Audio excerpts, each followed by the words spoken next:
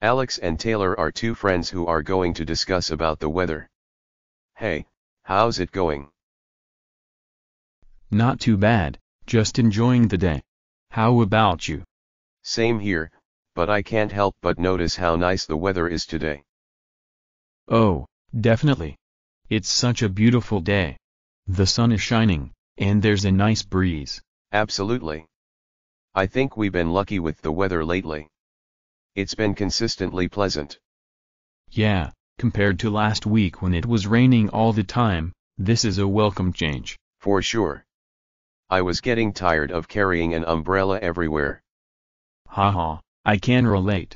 But you know, I wouldn't mind a bit of rain again soon. The plants could use it. That's true. It's amazing how the weather affects everything around us. Definitely. And speaking of weather, have you heard about the upcoming weekend forecast? No, I haven't. What's in store? Well, according to the weather report, it looks like we might have some scattered showers on Saturday, but Sunday should be clear again. Ah, got it?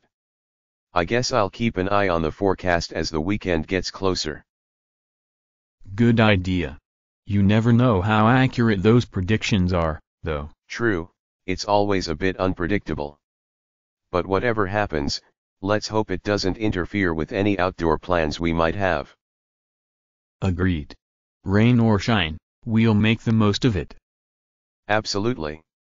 Anyway, I'm glad we got to enjoy this beautiful day together. Me too. Let's hope the good weather keeps up. Bye take care see you later. Bye.